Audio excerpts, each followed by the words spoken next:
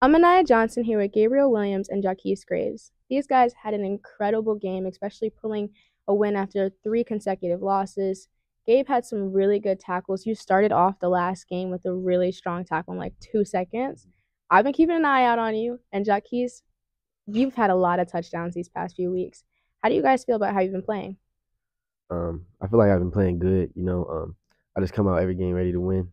Last game, I just came out and we just I just came ready to play. So I came up and I showed up. All right. I feel like we did good. Not only me, but as a team, we did great. Just came out ready to win. Okay. What was your attitude going into this game, especially after winning? I mean, losing. Um, the team really just we didn't have loss in our thoughts, so we came out and we just wanted to win. That's all we thought about: winning, winning, win. That's that was the main goal, just to win. All righty.